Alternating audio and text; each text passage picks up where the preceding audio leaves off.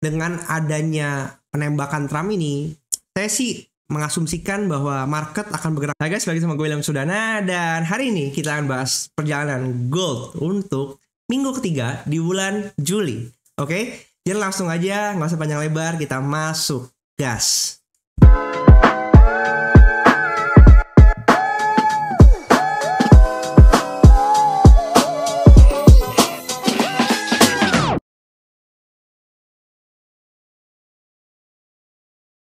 Oke, okay, so uh, buat kalian yang pertama kali mampir ke channel ini, uh, channel ini gue buat untuk membantu kita growing sama-sama untuk menjadi trader yang mandiri. Jadi apa pun yang gue bagikan di sini, goalsnya adalah gue berbagi pandangan gue pribadi.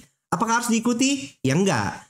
Ini semua adalah pandangan pribadi. Sehingga ketika kalian melihat analisa gue, gunakan itu sebagai referensi, tapi bukan untuk diikuti. Karena setiap orang pasti punya bias dan pandangannya masing-masing, oke? Okay? Justru di sini gue ngajak kalian untuk di sini gue lately baru bikin alamat podcast, beberapa podcast yang bisa uh, ngajak kita sama-sama belajar gimana cara bisa menjadi trader yang mandiri. Di sini ada berbagai macam analisa yang gue tinggalkan dan gue biarkan jejaknya ada di sini terus. Kemudian ada trading style metode Koptah, kalian bisa belajar kalau apa yang gue gunakan menggunakan pendekatan Koptah dan tapi gue combine juga dengan beberapa metode lainnya lagi ya. Di sini ada member only videos yang bisa kalian akses dengan klik join di sini. Join Hai aja guys. di sini eksklusif konten level 2 untuk menikmati member only videosnya. Sehingga kalian bisa punya bias kalian sendiri. Tapi di video kali ini gue berbagi pandangan gue juga dan kira-kira gimana supaya kita bisa diskusi lebih lanjut gitu ya. Jadi take apa pun yang ada di sini sebagai pandangan yang subjektif dari gua. So, untuk kalian juga yang mencari broker, kalian bisa mampir ke link yang ada di video description. ZFX lagi ngadain bagi-bagi bonus besar ya, up to 500 dolar per orang. Jadi kalian bisa menggunakan momentum ini untuk kalian sign up dengan link yang ada di bawah. Kemudian kalian bisa dapetin 10 dolar sign up bonus dan juga 100% deposit bonus yang juga ini withdrawable. Syarat dan ketentuannya bisa kalian baca di link yang ada di bawah juga ya. Ini selama terbatas kuotanya, selama persediaan masih ada, selama kuotanya belum terpenuhi, tapi gue yakin ini bisa menjadi benefit dan promo yang asik banget buat kalian trading. Langsung lanjut. Kalau kita perhatiin dari sisi timing ya, oke, okay? kita bahas dari sisi timing. Sekarang kita melihat kita ini ada di timing hukum busur week 3 Juli. Oke. Okay? Kalau dari point of view semester, kita perhatikan kita tuh lagi ada di area busur bawah, ya timing busur bawah. Artinya semester yang hukum jikanya up, maka dia akan membentuk busur bawahnya dulu nih. Ini sekarang lagi timing di sini. Kuartal juga sama, dia up, dia lagi timing busur bawahnya dulu. Sedangkan monthly yang dia hukum jikanya down akan makanya dia busur bawah. Tapi kalau kita pencapaiannya, kita ngeliat di sini busur semester itu ada di sini, areanya di sini. 2229 sampai 2008. Kalau kita lihat pivot uh, busur quarter yang ada di bawah, dia 2313 sampai 2177. Oke. Okay? Dan untuk man sendiri yang busurnya di atas di 330 sampai 2374 karena dia ke atas ya, makanya yang dikejar adalah resistennya. Tapi yang kita perhatikan pencapaian hingga saat ini adalah sekarang HN months, high now months itu lebih tinggi dari high before months. Maka di sini terjadi anomali up ya. Monthly udah anomali up. Kita tandain. Ini monthly anomali up. Oke. Okay. otomatis karena monthly anomali up udah 2424 maka R1 quarter ini juga udah dikunjungi ya 2399 nah sekarang kita ngelihat dari sisi waktu yang ada apakah mungkin harga itu akan bisa ke sini? Oke. Okay? karena perjalanan ke bawah timing is timing, tapi kita akan tetap kita tetap perhatikan pergerakan di setiap time frame kecilnya. Karena time frame kecil yang membentuk pergerakan time frame besar. Dia membantu pergerakan time frame besar. Oke? Okay? Artinya kalau kita perhatikan kecenderungan untuk harga bergerak ke bawah itu ditahan sehingga dia pergerakannya lebih ke atas gitu ya terbatas kan sekarang kalau kita lihat pergerakan di, di time frame bawahnya aja baru sampai 23 30 ya karena lihat nih pivot month 23 30 udah kena kemudian dia melanjut ke atas dari 23 30 dia langsung ke atas lagi sampai 24 24 oke okay? nah Kalau kita mengacu kepada uh, situasi yang sama di bulan Juli, coba gua cari ya di sini. Gua tadi udah tandain bulan Juli 2023 deh nih. Oke. Kita bisa tandain, kita ngeliat ini bulan Juni. Bulan Juni open ada di sini 1963. Oke. Kemudian kita perhatikan ini Julinya dia 1919. Di sini Julinya hukum jikanya down. Jadi kayak sama kayak tahun ini. Juli hukum jikanya down, posisinya dia semester hukum jikanya up, oke. Okay? Quarter di sini hukum jikanya down. Kalau kita perhatikan quarter ini Maret ada di sini ya. Maret itu eh April, sorry. Quarter April, mulai dari April. Aprilnya ada di atas sini. Kemudian Julinya adanya di bawah ya. Jadi quarternya hukum jikanya down ya. Juli hukum jikanya down karena Juni ada di sini, di open di sini. Apa yang terjadi? Di bulan Juli terjadi high before-nya di break. Ya, high before-nya di break. Nah, high before di break sehingga Julinya anomali up sama kayak kondisi sekarang. Kemudian kita perhatikan hukum jikanya up ya Agustus kan berubah ketika anomali up otomatis bulannya berubah tahun bulan depannya, oke? Okay? Up, hukum jikanya up, tapi malah dia break high before eh low before Julinya. Sehingga Agustus anomali down lagi. Jadi di sini di acak-acak. Julinya anomali, Agustusnya anomali.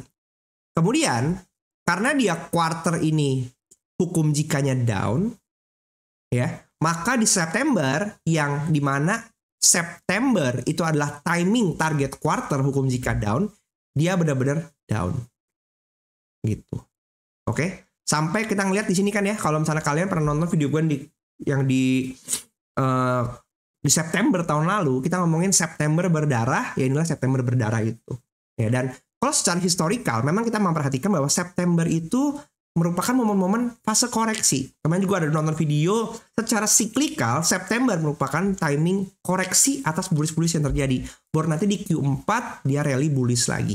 Gitu makanya ada dibilang apa ya uh, apa ya di September. Ya lah pokoknya gitu lah ya pokoknya kira-kira. Oke. di sini kita mau berkaca kepada berarti ada kemungkinan ketika Juli sekarang posisinya hukum jikanya down dan di anomali up, Agustus pun bisa jadi dibalikin lagi. Karena apa? Kalau kita mengacu kepada area di sini ya, bahwa timing untuk quarter busur bawahnya masih di bawah. Jadi kalau misalnya sekarang 24 24 berarti kita bisa ekspektasi dalam week 3 Juli ini, week 3 Juli ini kan udah masuk udah mau transisi ya di sini busur atas monthly, dia mau transisi ke target bawah monthly gitu. Karena nanti di kalau kita cek ini sampai kalau kita bagi dua ya, berarti sampai tanggal 17 itu adalah momen transisi ke target bawah. Berarti kita punya dua minggu untuk Julinya kejar bawah karena udah patah ke atas. Apakah mau ke low before monthly? Belum tentu. Tapi timing target telah target kita bisa expect adanya pergerakan ke bawah setelah ini kayak gitu. Nanti berarti untuk lanjutin lagi untuk di bulan Agustusnya. Oke, okay, kalau sekarang kita berkaca kepada price actionnya ya. Seperti yang udah gue sampaikan di video sebelumnya bahwa di sini ada fair value gap daily sampai 2406 ya. Kalau waktu itu kan kemarin kita ngomongnya di sini masih 23886 nih kan. Gue udah marking di sini ada fair value gap daily ya yang mungkin akan ditutup 23 2406 tapi di video sebelumnya, gue bilang bahwa ada kemungkinan dia akan kejar bawah dulu nih, ya kan? Yang area 2348 sampai area 2337, karena ada fair value gap duluan. Ini kan udah ciduk atas, probably mungkin ke bawah dulu, tapi ternyata enggak. Dia hanya ngambil di sini nih. Area sell susceptibility di sini 2350 diambil sampai di sini sekitar 2349-an, yaitu adalah di hari Selasa sebelum akhirnya di CPI dia terbang ke atas kayak gitu. Ya namanya analisa adalah analisa. Apakah kita bisa memprediksi market? Enggak. Apakah analisa gue selalu benar? Enggak. Kita hanya membuat dua skenario jadi waktu gue bilang kalau misalnya ke atas kita bisa ke sini kalau ke bawah bisa ke sini. Tapi pada aktualnya market merespon berbeda sesuai dengan apa yang kita rencanakan. Dan memang realitanya gue ada posisi sell kemarin ketika dia ke atas uh, kena SL artinya apa? Ya kita harus menerima loss karena analisa kita salah nggak sejalan dengan kehendak market gitu. Tapi di sini ada namanya risk management juga. Artinya ketika gua salah pun kalkulasi resikonya udah diperhitungkan. Maka itu namanya analisa nggak bisa di 100% benar kayak gitu. Dan kalau misalnya analisanya berjalan sesuai dengan rencana kita, artinya bukan kita yang jago. Pas kebetulan aja analisa kita sejalan dengan ke mana market mau bergerak gitu. Jadi kita bisa menilai analisa itu nggak ada 100% benar. Sekalipun siapa pun yang membuat itu. Kalau kita mau memperdebatkan bahwa analisanya salah, mappingnya salah, mappingnya benar, mau memperdebatkan sampai kapan gitu karena namanya market gak ada bisa kontrol kecuali marketnya sendiri kayak gitu. Dan kalau misalnya kalian punya biasnya bullish yang berkebalikan dengan apa yang gue lihat, ya apa juga. Karena setiap orang punya time frame masing-masing. Kalau kita perhatikan di sini, setup CB1 sell yang di sini ya, ini masih valid. Belum patah. Karena apa? Selama dia tidak closing body di atas di sini, 2450 2449 all time high 2450 dia closing body di atas 2451 ya dia closing body maka setup ini masih valid gitu untuk dia bisa ke bawah kalau saat ini dia posisinya ada di ngambil ekstrim bisa jadi dia kejar bawah lagi. Tapi bukan tidak mungkin setupnya gagal dia begini dia ke atas dites untuk ke atas lagi. Yang di mana kita bisa ngelihat angka 2500 dan angka 2700 akan menjadi target jangka panjang buat gold kayak gitu. Jadi selama kita kalau saya kan perpegangannya kepada setup di weekly ini yang memang relatif besar pergerakannya kita lihat di sini pergerakannya aja 2449 sampai paling bawah berapa 2393 ini ada 1570 pips yang kalau kita dikocok-kocok wajar banget kayak gitu kemudian di daily Oke, okay, sekarang kita lagi berhadapan di uh, fair value gap daily udah di closing ya.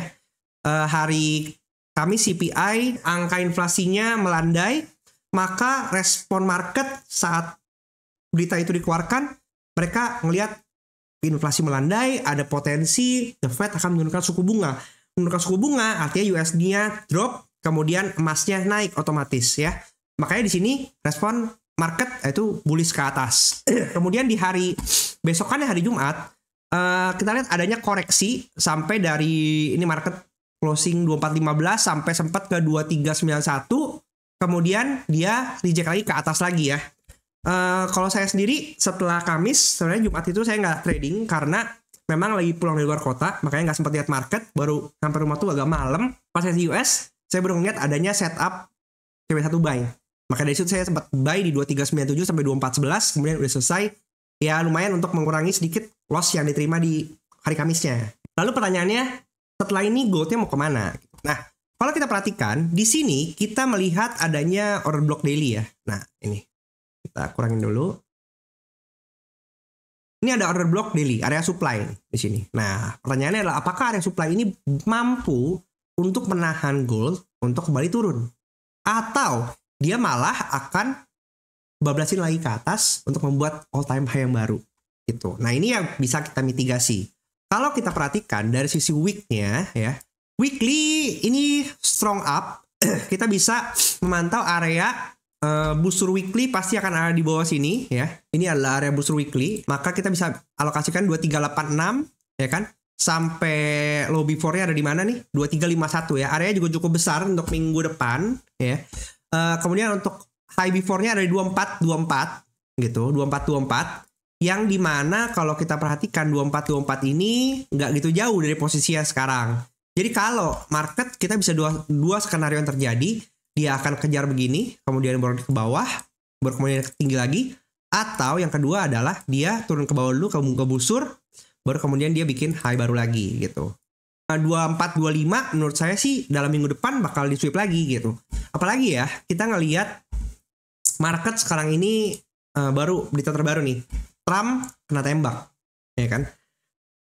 Pasti ini akan direspon sama market. Gitu. Apalagi ini adalah uh, dalam masa US President election, Trump sosok yang besar. Kemarin Biden juga speech-nya agak stutter-stutter gitu ya.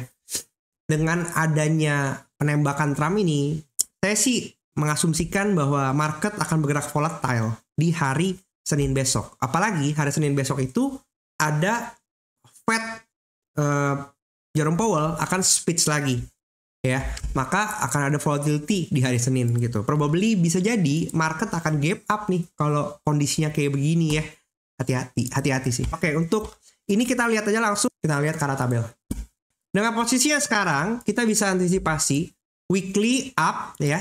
Sekarang market closing 2411 kita lihat ini market semua saya asumsikan 2411 jadi ini kondisi market tidak ada week opening gap. Oke okay? maka Uh, kita lihat busur weekly ada di 2396 sampai 2368. Tadi kita udah marking di sini berapa? 2385 ya. 2385 sampai 2350 gitu. 2396 sampai 2368 karena memang iya 2349 adalah low before-nya. Kemudian untuk daily kita perhatikan dalam posisi yang sekarang dia hukum jikanya down karena open before itu 2415 ya. Karena kan candle-nya juga merah ya. Walaupun banyaknya rejection-nya di bawah gitu. Artinya apa? Dengan posisi seperti ini, ada kecenderungan nih opennya di atas pivot. Maka ada kecenderungan daily-nya akan terjadi anomali up. Gitu. HB-nya di mana? Kita perhatikan. HB-nya ada di 2418. Kita perhatikan day-nya 2427. Sedangkan high before weekly 2424. Maka dengan kayak begini, kalau misalnya daily-nya anomali up dan hit R1 daily, maka weekly otomatis akan normal up di sini. Berarti tugas weekly prematur selesai lebih cepat. Setelah weekly prematur lebih cepat, opsinya dua. Apakah dia akan turun lagi untuk ngambil ancang-ancang untuk melanjut di sini RH dari 2443 artinya 2443 ini udah dekat dengan high before quarter ya karena kita perhatikan quarternya udah kena R1 nya quarter ini up ya kan apakah busur quarternya nggak sampai pivot? Kecenderungannya sebenarnya pivot minimal bisa diambil dulu lah. Tapi kalau memang benar-benar busur quarter dan semesternya nggak mau diambil pivotnya nggak diambil artinya geraknya akan terus ke atas kenceng. Kayak gitu. Maka next kita perhatikan 2443 sini ada 2436 ya. Ada ini 2431 yaitu R2 nya monthly. R2 monthly 2431 juga udah deket nih semua nih ya. 2431 2427 bahkan R2 daily udah 2436 angkanya udah deket-deket semua 2431 2474 itu semester. Gitu oke? Okay? itu kalau kondisinya besok Senin langsung ngejar ke atas. Tapi kalau misalnya kita asumsikan gap down kita asumsikan dia open ke 2408 2408 ini weekly nggak akan ada perubahan karena memang lompatnya jauh jadi weekly akan tetap ideal up. Nah daily-nya yang berubah. Ketika dia 2408 berarti gap down sekitar 30 pip aja downnya ini udah membuat daily berubah ya. Open pivot udah di bawah walaupun tipis. Nih 2408 pivotnya 2408,21 ya. Tapi ini udah jadi kuning marketnya juga down walaupun ada potensi anomali dua-duanya di sini anomali up tapi udah sedikit berkurang. Artinya di sini market bisa daily-nya akan bisa kalau dia nggak anomali dia akan bantu timing busur weekly. Berarti kita bisa ngejar turun ke 2395 ya kan 2408, 2398 ini S1 daily dan pivot weekly itu berdekatan. Paling jauh mungkin kita bisa antisipasi ke 2365 kayak gitu. Kemudian kalau misalnya demikian um, market di sini juga sama down tampaknya dia down, kemudian hasilnya juga down. Maka semuanya berjalan ke bawah. Tapi kalau misalnya dia lompat gap up ke atas, dia nggak jauh-jauh 2411 naik 2416 saja. Maka H4-nya udah otomatis ini anomali up ya. Besar chances untuk anomali up karena open di pivot R1 sama di atas semua, sedangkan H4-nya down. H1-nya udah up, marketnya Asianya up, daily-nya juga normal up kayak gitu. Jadi kita punya ancang-ancang ketika week opening gapnya ada di mana kita bisa perhatikan oh kira-kira dia akan kejar ke mana dulu kayak gitu jadi area mana aja sebenarnya yang bisa kita pantau ya Oke, jadi apa yang bisa diperhatikan untuk minggu ini? Satu, kita perhatikan apakah harga akan nge-sweep ini HB Weekly 2424 dalam waktu dekat. Kalau misalnya iya, maka kita bisa antisipasi pergerakannya seperti ini, kemudian dia mungkin ke bawah dulu untuk lanjut ke atas lagi, ya. Uh, of course selama ini belum di belum di break maka setup CB1 sell week masih berlaku, oke? Okay? Nah kalau coba kita turun karena uh, ini ada gap kecil juga di sini nih, nih ada gap kecil di sini. Ini bisa menjadi area yang mungkin dipantau ya, karena ini area 24 9 nih 24 di sini, ini kan awalnya dia kuat ya, reject, kemudian dia mantul, bahkan dipantulin lagi sini, mungkin bisa di area juga 239 atau 296 pantau juga area di sini rejection. Karena kalau misalnya kita perhatikan area pivot week ada 2398 ya. Sampai 2372 maka area cukup besar 2398 di sini. 2398 sampai 2372 nah ini nih oke? Okay? area di sini nih area previous candle dari uh, eh, CPI kemarin oke? Okay? kita turun ke H1 nah di H1 ini sebenarnya kalau kita perhatikan kemarin tuh hari Jumat dia kebentuk satu set satu setup CB satu sel ya di sini. Nah, nah ini dia. Ini satu kebentuk di sini. Maka kalau kita perhatikan kemarin udah kena TPH satunya 1618 kemudian di reject ke atas. Nah di sini kita perhatiin apakah nanti akan kebentuk setup satu CB satu sel lagi atau enggak. Karena kalau dilihat dari sini ya udah kena kemudian dia kebentuk lagi ini drop base drop kemudian di sini bentuk CB1 CB1 buy maka di sini kita lihat dulu. Apakah dia sudah mencapai kenaikannya? Nah, di sini belum ya, belum karena 2419 ya. Maka dari sini kita bisa expect mungkin dia akan jalan dulu ke bawah, mungkin sekitar 2400, kemudian 2419, kemudian baru mungkin akan ke bawah lagi untuk melihat area base yang ini. Area base yang ini. Nih, 24 2382 sampai berapa nih sekitar? 2378. Cocok dengan area Tadi yang kita marking area busurnya weekly, oke? Okay? Tapi kalau enggak, dia pun nextnya berarti kalau dia targetnya langsung ke atas, 23, 2437, kemarin tadi kita udah sempat marking juga 2437 merupakan area ini R1 daily, ya kan? Kalau di harga normal, dia sekitar R2 daily dan hampir menuju R1 weekly gitu. Jadi uh, mitigasinya seperti itu dulu, kita pantau area-areanya, area 2437 ya kan, 2424 Kemudian area busur weekly-nya yang ada di sini 239 sampai 2368. Oke, jadi segitu aja analisa gua kali ini. Buat kalian yang punya pandangan lain, silahkan tulis komen di bawah. Dan jangan lupa di like dan share juga video ini ke teman-teman kalian supaya kita bisa punya diskusi yang lebih sehat lagi dan sama-sama kita bisa menjadi trader yang mandiri. Sampai jumpa di video selanjutnya. Bye-bye.